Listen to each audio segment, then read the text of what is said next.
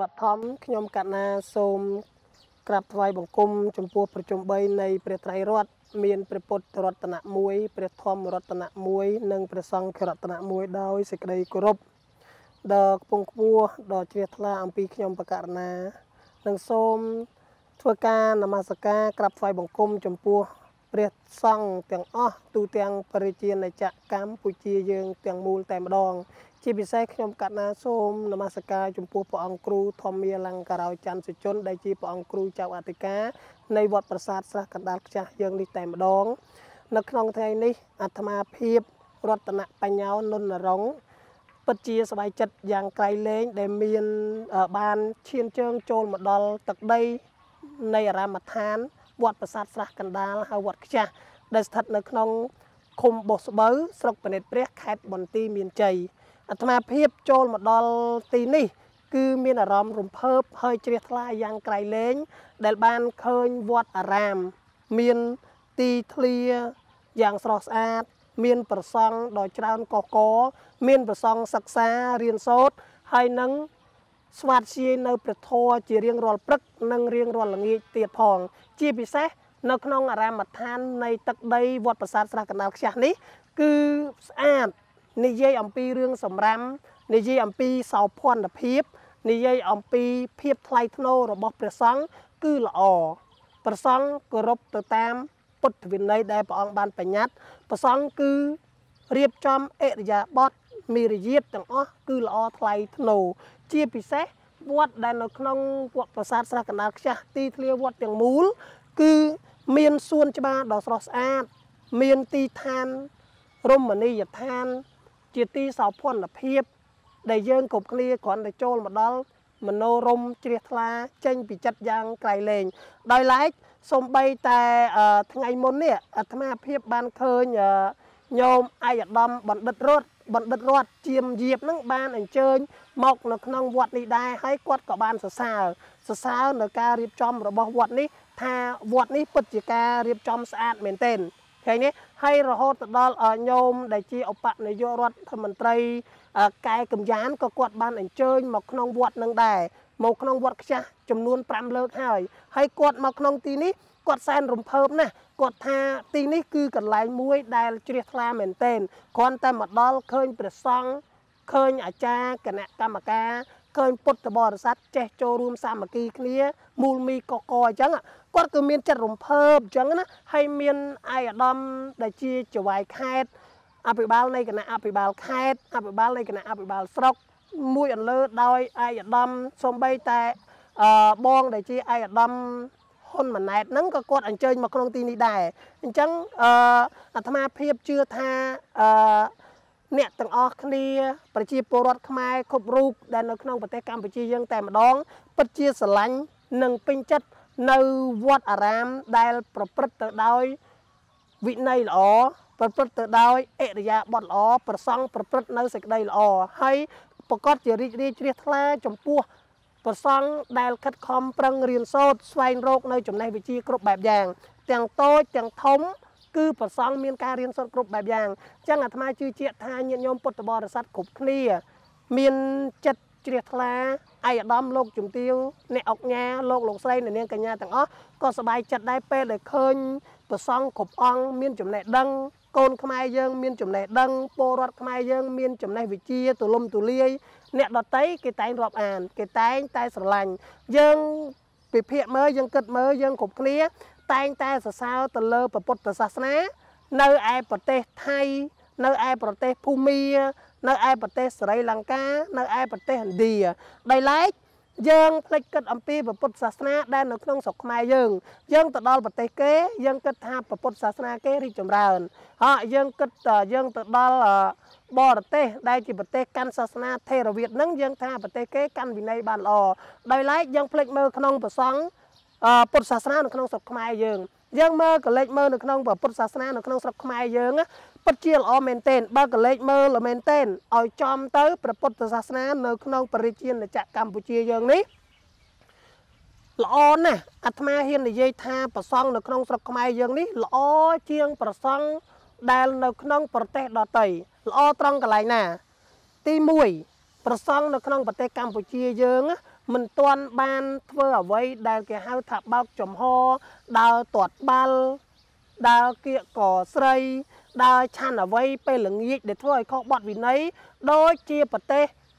ថៃដូចជាប្រទេសភូមាទេនៅក្នុងប្រទេសភូមា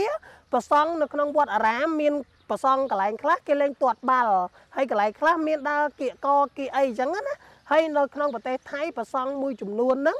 អឺឆាន់បាយឆាន់អីល្ងាចមានកន្លែងខ្លះបើកចំហអញ្ចឹងឆាន់ហើយមួយទៀតលេងទាត់បាល់លេងអីហ្នឹងដើរដល់ពេលអញ្ចឹងយើងមើលទៅមិនជាគួរជ្រះថ្លាទេដោយឡែកយើងក៏លេចមើលមកក្នុងប្រទេសខ្មែរយើងវិញប្រសង់នៅក្នុងប្រទេសខ្មែរមិនទាន់មានអញ្ចឹងទេប្រសង់នៅស្រុកខ្មែរយើងមិនទាន់មានទៅដើរលេងដើរគៀកកស្រី ដើរទាត់បាល់ទាត់អីដោយប្រទេសគេដែលបើកចំហអញ្ចឹងគឺមិនមានទេដូច្នេះប្រស្រង់ស្រុកខ្មែរយើងពិតជាល្អមែនទែនឃើញទេព្រោះយើងគិតមើលអាការធ្វើអញ្ចឹងគឺវាជាការខុសនៅក្នុងបទវិន័យដែលព្រះសម្មាសម្ពុទ្ធព្រះអង្គបានហាមថាមិនអោយប្រសង់នឹងទៅលេងទាត់បាល់ ដើរគៀកកស្រីអីចឹងទេវាជាអាបត្តិវាជាទុនកម្មមួយដែលដាក់ទៅលើបកុសាមណេរថាធ្វើអញ្ចឹងវាខុសប៉ុន្តែទៅក្នុងខ្មែរយើងយើងមើលមិនទាន់បានមានព្រះអង្គណាដែលទៅធ្វើឲ្យខុសអញ្ចឹងដែរទៅនោះទេបើយើងមានគ្រាន់តែថាមានមួយអង្គពីរអង្គ3 4អង្គដែលធ្វើខុសបទវិន័យអញ្ចឹងណាដែលប្រព្រឹត្តបទល្មើសអញ្ចឹងហាប៉ុន្តែមិនទាន់ជាមានលក្ខណៈជាសាធារណៈទូទៅនោះទេហើយ អ្វីដែលយើងពុទ្ធសាសនានៅក្នុងស្រុកខ្មែរយើងអឺមិនទាន់មានភាពរីកចម្រើន យើងនិយាយអំពីការវិស័យនៃការរីកចម្រើនដូចជាប្រទេសជិតខាងនោះ យើងមើលអឺដូចជាប្រទេសថៃគេមានការគ្រប់គ្រងអំពីរដ្ឋាភិបាលក៏ដូចជាប្រជាពលរដ្ឋខ្មែរអប្រជាពលរដ្ឋគេនឹងសឹងតែទូទាំងប្រទេសហើយដែលគេគ្រប់គ្រងដែលជាគេជួយលើកដំកើងនៅពុទ្ធសាសនា ហើយគេធ្វើព្រះពុទ្ធសាសនាគេធ្វើទីវត្តអារាមហ្នឹង ទៅជាកន្លែងទេសចរសម្រាប់ជាតិគេតែម្ដង យើងមើលការទេសចរយើងបើសិនជាអ្នកទេសចរយើងចូលទៅមើលនៅក្នុង ប្រទេសថៃតាមវត្តអារាមមួយមួយ គឺសុទ្ធតែជាទេសចរបែបពុទ្ធសាសនាតែម្ដងយើងមើលវត្តប្រាក់កែវនៅក្នុងប្រទេសថៃពេលដែលយើងឈានជើងទៅដល់វត្តប្រាក់កែវនៃប្រទេសថៃក៏ជាកន្លែងមួយដែលគេហៅថាអឺ ទេសចរបែបព្រះពុទ្ធសាសនាឥឡូវយើងមើលទៅឈៀងរ៉ាយដែលវត្តមួយមាន ប្រាសាទពណ៌សនោះយើងមើលទៅដល់ក្នុងទីនោះក៏ជាទីវត្តអារាមវិហារមួយគេធ្វើយ៉ាងល្បីហើយយើងទៅមើលនៅភូកេតយើងទៅមើលនៅកន្លែងតំបន់ទេសចរជាច្រើននៅក្នុងប្រទេសថៃគឺអភិវឌ្ឍកន្លែងនឹងទាំងអស់នឹងឯងទៅជាកន្លែងទេសចរទាំងអស់អញ្ចឹងប្រជាពលរដ្ឋដែលគេមកចូលទេសនាអត់ទេសចរទស្សនានៅក្នុងប្រទេសថៃ គេចូលទៅវត្តអារាម នៅ ក្នុងប្រទេសថៃ គឺគេឃើញមានអឺប្រពុតរូបអង្គធំធំក៏ដូចជាពុទ្ធសាសនានឹងផ្សារភ្ជាប់ឲ្យទៅជាកន្លែងទេសចរធំធំតែម្ដងហើយយើងក៏លេខទៅមើលនៅក្នុងប្រទេសភូមាពេលដែលយើងទៅប្រទេសភូមាកន្លែងតំបន់ទេសចរនៅក្នុងប្រទេសភូមាសុទ្ធសឹងតែជាពុទ្ធសាសនាតែម្ដងពុទ្ធសាសនា គេយកមកកសាងនៅក្នុងវត្តអារាមហើយគេអភិវឌ្ឍកន្លែងហ្នឹងឲ្យទៅជាកន្លែងទេសចរដើម្បីនឹងទាក់ទាញភ្ញៀវទេសចរដើម្បីចូលទៅទស្សនាដូច្នេះអាការផ្សព្វផ្សាយសាសនាពុទ្ធសាសនានៅក្នុងប្រទេសគេហ្នឹងវាចេះតែរីកចម្រើនទៅរីកចម្រើនទៅមុខតែម្ដងដោយសារគេមានការផ្សព្វផ្សាយផ្សារភ្ជាប់ការទេសចរមកជាមួយនឹងវត្តអារាម រហូតដល់យើងទៅបរទេសដោយអាត្មាឬក៏ប្រសង់ខ្មែរយើងអញ្ចឹងទៅបរទេសគេមិនសូវស្គាល់ថាយើងនិមន្តទៅប្រទេស មកពីប្រទេសកម្ពុជាអីចឹងគេមិនសូវស្គាល់ទេគេបែរជាសួរថាយើងនឹងមកពីប្រទេសទីបេឬក៏ជាប្រទេសភូមាឬក៏ជាប្រទេសថៃអីទៅវិញអញ្ចឹងឥឡូវយើងក៏លេចមកក្នុងយើងវិញដូច្នេះឥឡូវនេះយើងមានតែនាំគ្នារួបរวมសាមគ្គីគ្នាដើម្បីនឹងមូលមតិគ្នាជាធ្លុងមួយអភិវឌ្ឍនិងរៀបចំរចនាបថធ្វើឲ្យវត្តអារាម នៅក្នុងប្រទេសខ្មែរយើង មានភាពរីចម្រើនព្រះពុទ្ធសាសនាវិស័យនៃការអប់រំបែបពុទ្ធសាសនាក្នុងប្រទេសកម្ពុជាយើងរីចម្រើនកាន់តែខ្លាំងដូចជាប្រទេសដទៃទៀតឃើញទេមិនយូរទេឲ្យតែយើងមានការស្រឡាញ់រាប់អានឲ្យតែយើងមានការចូលរួមសហការគ្នា ទាំងប្រសង់ទាំងពុទ្ធបរិស័ទទាំងយុវជនយុវយុវវ័យអ្នកនិពន្ធអ្នកនយោបាយ ប្រជាពលរដ្ឋគ្រប់មជ្ឈដ្ឋានគ្រប់ជាន់ថ្នាក់ទាំងអស់ឲ្យតែយើងចាប់ដើមមានការរួបរวมគ្នាឲ្យគិតគូរឡើងវិញជាពិសេសព្រះអង្គដែលជាមន្ត្រីសង្ឃធំធំ ផ្នែកខាងព្រះពុទ្ធសាសនាត្រូវតែរួមគ្នា ដើម្បីនឹងមកធ្វើឲ្យប្រពុទ្ធសាសនា នៅក្នុងប្រទេសកម្ពុជាយើងរីកលូតលាស់ផ្សាយភាយទូទៅពេញសកលលោកឲ្យគេស្គាល់ថាប្រសង់ស្រុកខ្មែរ ពិតជាប្រសង់ល្អពួកយើងប្រទេសកម្ពុជាយើងអ្នកដែលកាន់ប្រពុទ្ធសាសនា គឺមានរហូតទៅដល់97% តែយើងគិតមកវិញថាអ្នកដែលយល់ដឹងមែនទែនអំពីតម្លៃពុទ្ធសាសនាណាគឺមានតិចណាស់មិនដល់30 40%ទេអ្នកដែលយល់ពិតប្រាកដដូច្នេះយើងត្រូវតែនាំគ្នាបង្រៀនកូនចៅយើងនឹងឲ្យយល់ដឹងអំពីតម្លៃនៃពុទ្ធសាសនាកុំឲ្យគេទៅសួរថាហេតុអីបានកូនកូនឯងនឹងនាំគ្នាមកកាន់ពុទ្ធសាសនា កូនកូននឹងថាខ្ញុំមកកាន់ពុទ្ធសាសនានឹងដោយសារតែម៉ែឪខ្ញុំកាន់ពុទ្ធសាសនាបាទខ្ញុំកាន់ពុទ្ធសាសនាដែរដល់ពេលយើងនិយាយចឹងអត់ល្អទេយើងកុំឲ្យចឹងយើងបង្រៀនកូនចៅយើងនឹងឲ្យយល់ឲ្យដោះដាលឲ្យជឿជាក់ហើយឲ្យយល់ច្បាស់អំពីតម្លៃនៃពុទ្ធសាសនា នៅក្នុងបរិជាណាចក្រកម្ពុជាយើងហើយ ដោយនៅក្នុងអារាមដ្ឋាននៃវត្តប្រាសាទស្រះកណ្ដាលខ្ចាស់នេះដូចញាតិញោមបានអញ្ជើញមកដល់ក្នុងទីនេះស្រាប់ហើយមកដល់ទីនេះអាត្មាភាពសែនរំភើបហើយញាតិញោមដែលមកដល់ទីនេះគ្រប់គ្នាក៏រំភើបដែរព្រោះគាត់ថាមកដល់ទីនេះវត្តអារាមប្រសង់ដែលនៅឆ្ងាយដាច់ស្រយាលអំពីជនបទប៉ុន្តែមានប្រសង់រស់នៅយ៉ាងច្រើនរហូតដល់178អង្គនិងរហូតពេលចូលភាសាចិត្តចូលភាសារហូតដល់200អង្គជាង ឃើញទេញោមហើយមួយទៀតមកដល់ទីនេះ មានកន្លែងព្រះអង្គប្រសង់ដើរសមាធិដើរចង្ក្រមព្រះអង្គភាវនាធម៌ព្រះអង្គរៀនសូត្រព្រះអង្គបដិបត្តិសាមណេរបខុទាំងអស់ធ្វើនៅការសិក្សារៀនសូត្រនៅធម្មវិន័យនៅភាសាបាលី នៅភាសាបរទេសមួយចំនួនបច្ចេកវិទ្យាមួយចំនួនជាច្រើនទៀតនៅក្នុងវត្តហ្នឹងដូច្នេះហើយញាតិញោមមកដល់ឃើញកន្លែងដែលជ្រះថ្លាដែលប្រសង់ មានការជ្រះថ្លាប្រសងមានការរៀនសូត្រច្រើនអញ្ចឹងញ៉ាំងហរតីនៃញាតិញោមទាំងអស់គ្នានឹងឲ្យមានការជ្រះថ្លាកាន់តែច្រើនគាត់នាំគ្នាអញ្ជើញមកកាន់តែច្រើនឃើញរហូតដល់ឯកឧត្តមលោកជំទាវអ្នកអុកញ៉ាអ្នកលោកលោកស្រីអ្នកនាងកញ្ញាទាំងអស់នៅក្នុងប្រទេសខ្មែរបានអញ្ជើញមកមើលនៅក្នុងទីនេះហើយបានជួយឧបត្ថម្ភទំនុកបំរុងនៅវត្តប្រាសាទស្រះកណ្ដាលខ្ចាស់យើងនេះទៀតអាត្មាក៏អរគុណនិងសូមអរប្រគុណដល់ញាតិញោមពុទ្ធ ពុទ្ធបរិស័ទទាំងអស់ដែលបានអញ្ជើញចូលដល់នៅក្នុងទីនេះញាតិញោមហើយសូមញោមគ្នាជួយបន្តការគ្រប់គ្រងនិងថែរក្សានៅ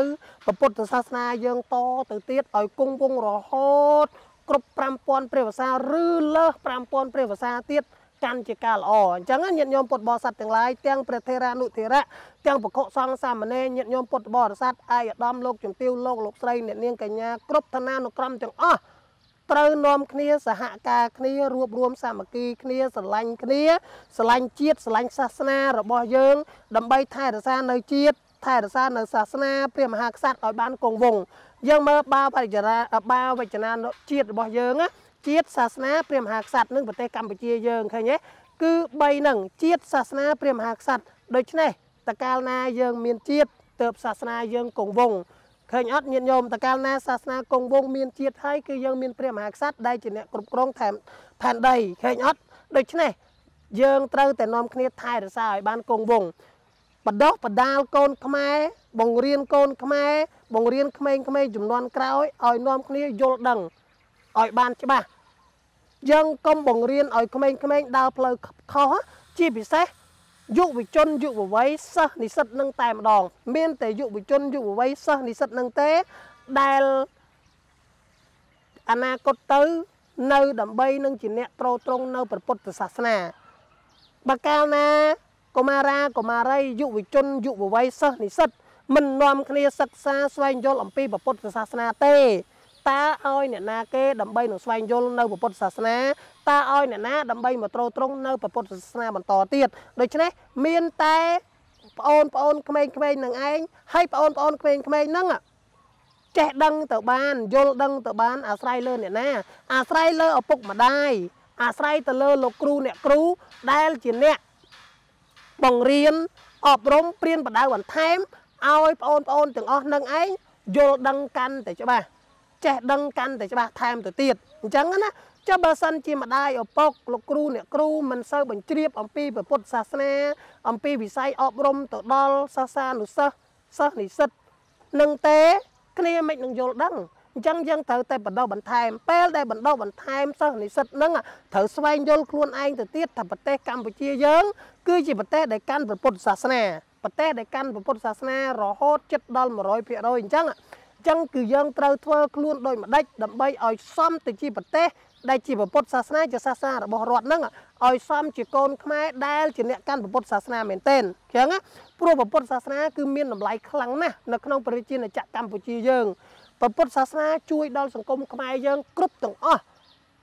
ទាំងវិស័យអប់រំ ទាំងការអភិវឌ្ឍសេដ្ឋកិច្ចជាតិគ្រប់សពបែបយ៉ាង គឺពុទ្ធសាសនាជួយដល់ប្រទេសកម្ពុជាយើងច្រើនមែនទែន ព្រះពុទ្ធសាសនា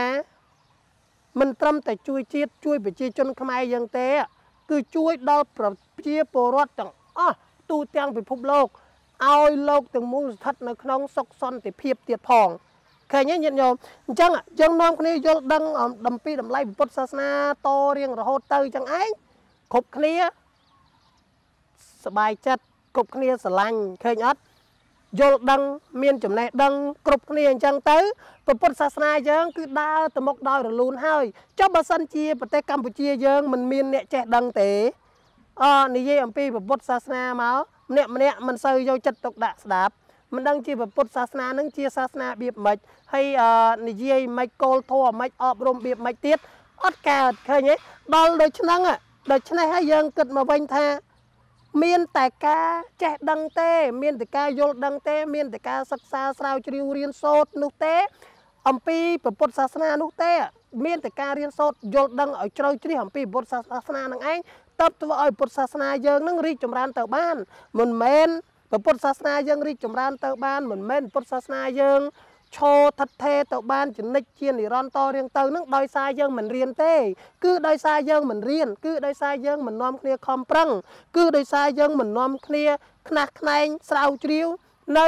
បីដកកំពីបីដកពុទ្ធដីការបស់ព្រះពុទ្ធឃើញទេដូច្នេះអាការមិនរៀនមិនចេះដឹងនឹងឯងវាធ្វើឲ្យយើងចេះតែអន់ថយអន់ថយអន់ថយអន់ថយទៅឃើញអត់ដូច្នេះ វាតកាលណាអន់ថយទៅអញ្ចឹងអន់ថយទៅអញ្ចឹងវាងាយនឹងផ្នត់គំនិតវាងាយនឹងអវបធរអរិយធរសាសនានៃពូជសាសន៍ដតីងាយស្រួលបញ្ជ្រាបចូលមកដល់កូនខ្មែរយើងដោយសារយើងមិននាំគ្នាយល់ដឹងឲ្យបានច្បាស់នឹងឯងចឹងយើងនឹងងាយទៅតាមយើងមែនតែនព្រោះអវបធរអរិយធរហ្នឹងគឺងាយចម្លងពីគ្នាមែនតែនបើយើងមិនយល់ច្បាស់អំពីវប្បធម៌ទំនៀមទម្លាប់ប្រពៃណីរបស់យើងច្បាស់នោះទេវាច្បាស់ជាអញ្ចឹងឯងដូច្នេះអាត្មាភាព ផ្ដាំជាថ្មីម្ដងទៀតយើងត្រូវតែនាំគ្នារួបរวมសហការគ្នាជាក្លងមួយឲ្យคล้ายទៅជាប្រទេសដែលជាអ្នកកាន់ព្រះពុទ្ធសាសនាប្រទេសដែលជាសាសនាព្រះពុទ្ធជាព្រះពុទ្ធសាសនារបស់រដ្ឋប្រជាពលរដ្ឋគ្រប់រូបត្រូវតែនាំគ្នាគោរពនិងស្រឡាញ់នៅព្រះពុទ្ធសាសនាគោរពស្រឡាញ់នៅព្រះសង្ឃ គោរពប្រតិបត្តិដើរតាមគន្លងនៅព្រះធម៌ជានិច្ចជានិរន្តរ៍តទៅអញ្ចឹងតកាលណាយើងចេះដឹងអំពីយល់ដឹងអំពីពុទ្ធពធព្រះសង្ឃពុទ្ធជាទីពឹងយកពុទ្ធពធព្រះសង្ឃជាទីពឹងតែប៉ុណ្ណេះហើយយល់ដឹងអំពីតម្លៃនៃពុទ្ធសាសនាប៉ុណ្ណេះប្រទេសខ្មែរយើងនឹងអភិវឌ្ឍរីកចម្រើនតទៅមុខទៀតជានិច្ចជានិរន្តរ៍ជាមិនខានដូច្នេះអាត្មាភាពអឺជាចុងបញ្ចប់នេះខ្ញុំប្រកាសណាអាត្មាភាពសូម ជូនពរដល់ប្រជាពលរដ្ឋខ្មែរយើងក៏ដូចជាប្រសង់ខ្មែរយើងទាំងអស់ទូទាំងប្រជាជាតិកម្ពុជាឲ្យមានសេចក្តីសុខនិងសេចក្តីចម្រើនសុខសន្តិភាពជានិរន្តរ៍និងសូមឲ្យពុទ្ធសាសនាផ្សាយទូទៅពេញសកលលោកហើយមួយទៀតសូមឲ្យឯកឧត្តមលោកអន្តិលោកជំទាវលោកលោកស្រីអ្នកនាងកញ្ញាអ្នកអុកញ៉ានិងប្រជាពលរដ្ឋព្រមទាំងបរិស័ទទាំងអស់បានអញ្ជើញនឹងមកទស្សនានៅក្នុងវត្តប្រាសាទស្រះកណ្ដាលខ្ជះដែលស្ថិតនៅក្នុង ភូមិខ្ចាស់ឃុំបោះស្បូវស្រុកភ្នែកព្រះខេត្តបន្ទាយមានជ័យដើម្បីនឹងមកមើលការអភិវឌ្ឍនិងការកសាងនិងការសិក្សារបស់ព្រះសង្ឃរៀនសូត្រនៅក្នុងវត្តប្រាសាទស្រះកណ្ដាលខ្ចាស់នេះផងពោសូមចម្រើនពរលានិងថ្វាយបង្គំលា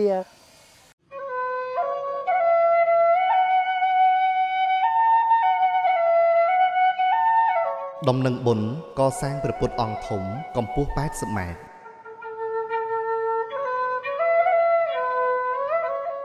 យ៉ាងកញ្ចិរតនាងលោកេវិជ្ជតិវិវិធាំងពុទ្ធរតនាងពុទ្ធសម្មាំងណដ្ឋិតស្មាសោថៃភិវន្តុទេ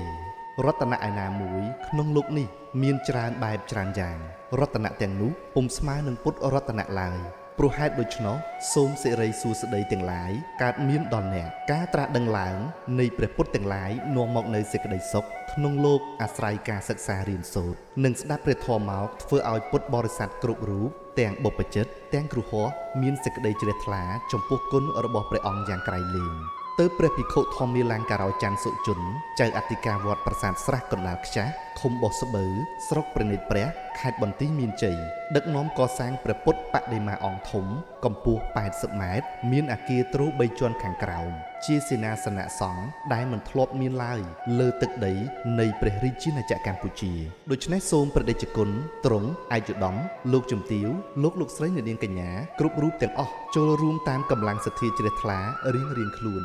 បញ្ជាក់ចូលរួមទូទៅក្នុង1ម៉ែត្រការ៉េ40ម៉ឺនរៀលឬស្មើនឹង100ដុល្លារសសរមួយដើម2លានរៀលឬ500ដុល្លារបង្អួចមួយ4លានរៀលឬ1000ដុល្លារទ្វារមួយ8លានរៀលឬ2000ដុល្លារជណ្ដើរមួយ8លានរៀលឬ2000ដុល្លារបោះសបុកមួយ80លានរៀលឬ20000ដុល្លារទំនាក់ទំនងទូរស័ព្ទលេខ012 22 85 12 098 22 85 12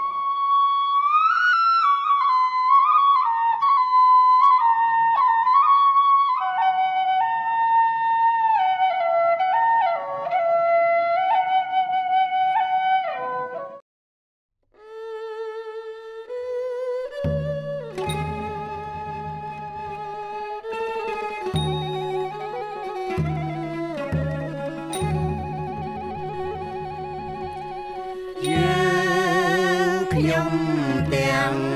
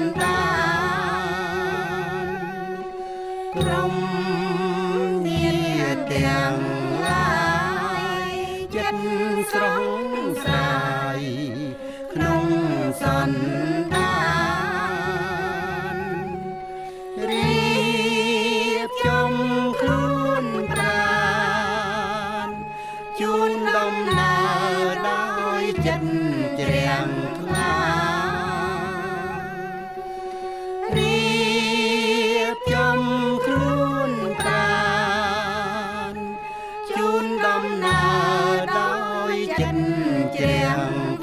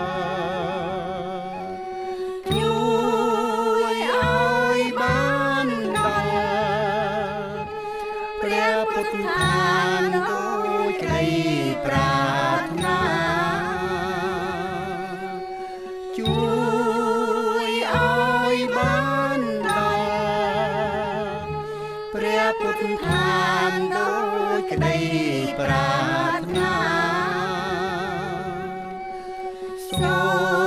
មជានិស័យបានកាត់ផ្ដាច់វត្តសង្សារសូមជានិស័យបានកាត់ផ្ដាច់វត្តសង្សា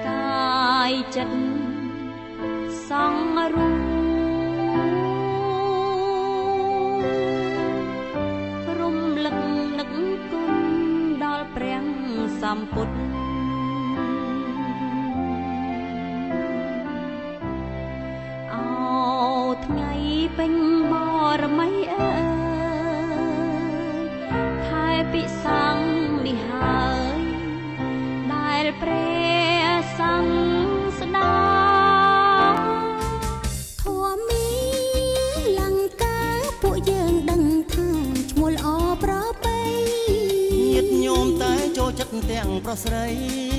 ញាតញោមតែចូលចិត្តទាំងប្រុសស្រីយុវជនយុវតីតាយាយស្នេហាវត្តមានផ្លែផ្កាទាញបរិស័ទចូលចិត្តវត្តមានផ្លែផ្កាទាញបរិស័ទចូលចិត្តវត្តមានព្រះអង្គជួយស្រោចជួយស្រង់វត្តបានល្អពិតនេះមកពីលោកគ្រូមានគំនិត នេះមកពីលោកគ្រូមានគំនិតចេះច្នៃប្រឌិតវត្តពិតថ្កើងថ្កានយើងបានសុខសានរួចពីទងទុនយើងបានសុខសានរួចពីទងទុន